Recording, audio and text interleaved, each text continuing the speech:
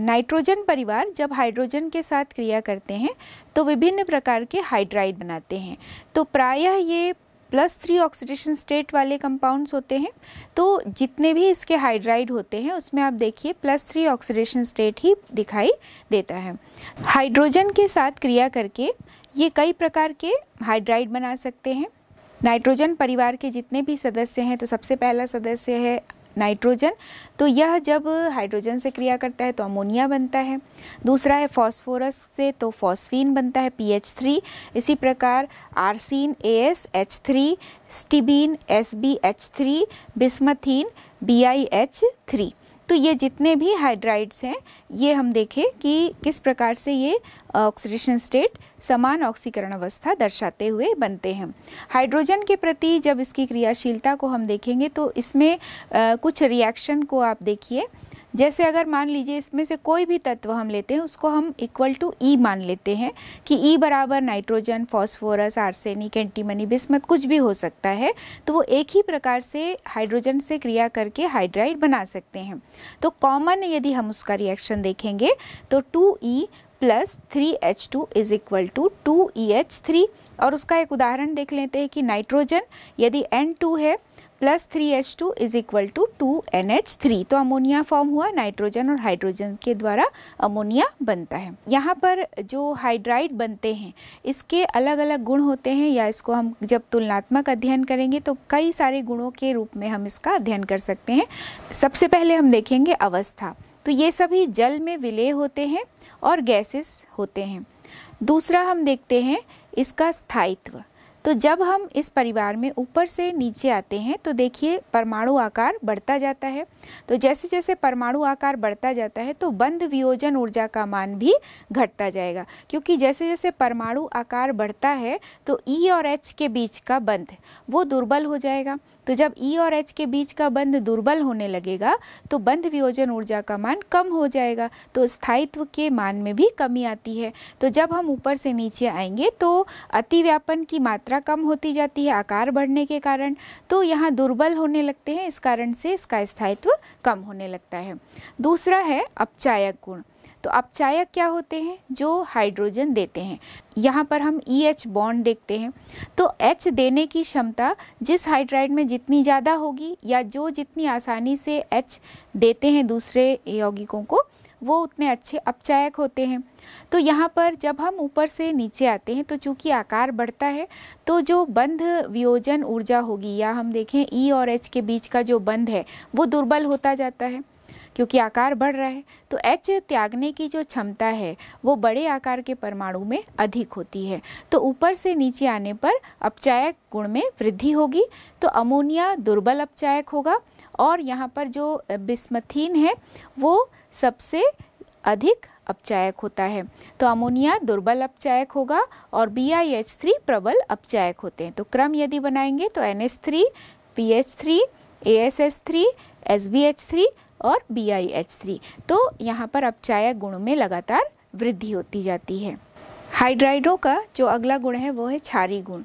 तो चूँकि नाइट्रोजन परिवार के सभी सदस्यों के पास एक लोन पेयर ऑफ़ इलेक्ट्रॉन होता है, जिसे वो देकर क्षारिता प्रदर्शित करते हैं, लुइस छार की तरह व्यवहार करते हैं तो यहाँ पर जब हम क्षारिता को देखेंगे तो ऊपर से नीचे आने पर जो क्षारिता का मान है, वह कम होने लगता है।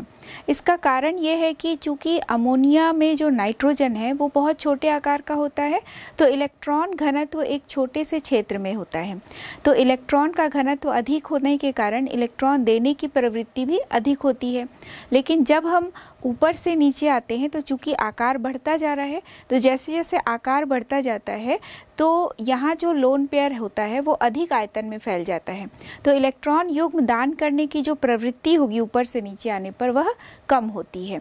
इस वजह से अमोनिया प्रबल क्षारी होता है, जबकि बी आई एच थ्री दुर्बल क्षारी गुण दर्शाता है, क्योंकि ऊपर से नीचे आने पर आकार बढ़ता है और इलेक्ट्रॉन घनत्व अधिक आयतन तक फैल जाता है तो इलेक्ट्रॉन युग्म देने की जो प्रवृत्ति है, वह कम हो जाती है। अगला गुण है क्वथनांक।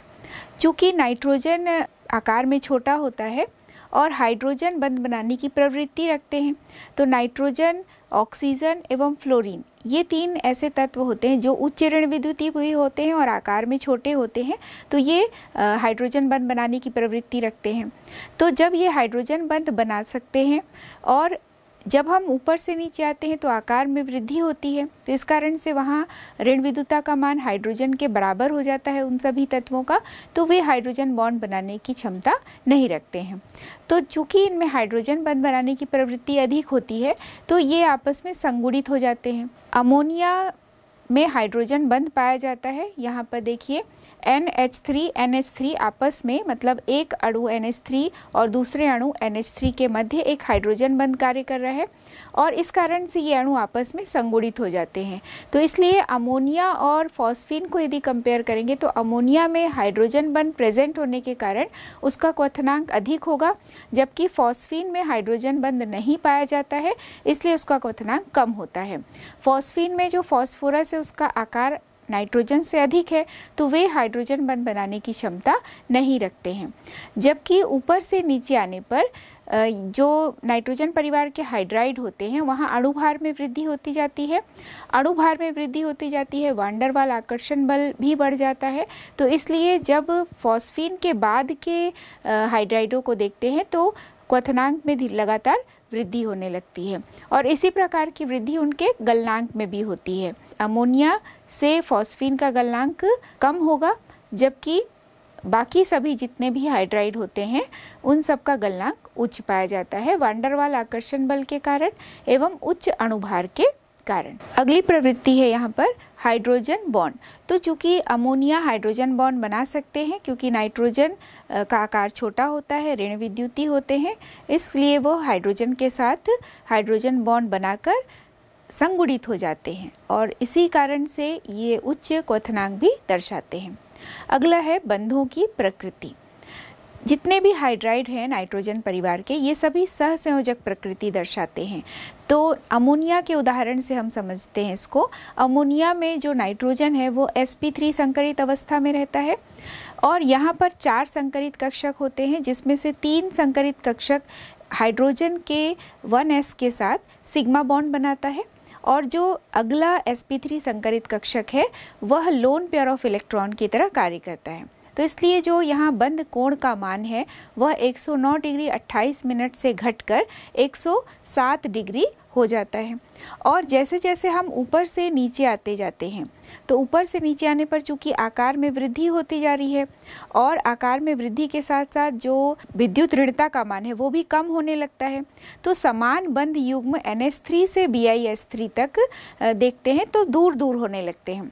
तो अमोनिया में जो NH बंद होता है, वो फॉस्फीन में पीएच बंधों की तुलना में ज़्यादा पास पास होते हैं, इसलिए वहाँ प्रतिकर्षण का मान अधिक होता है। तो जब प्रतिकर्षण अधिक होता है तो बंद कोण के मान में वृद्धि होती है। जबकि बाकी जितने भी हाइड्राइड है, आप देखिए, यहाँ लगातार बंद कोण के मान में कमी होती जा रही है, क्योंकि यहाँ ऋण विद्युता का मान भी घटता जा रहा है, परमाणु आकार के बढ़ने के साथ साथ अगला गुण है विलेता। अमोनिया और जल के मध्य हाइड्रोजन बंद बनने के कारण अमोनिया जल में घुल जाते हैं।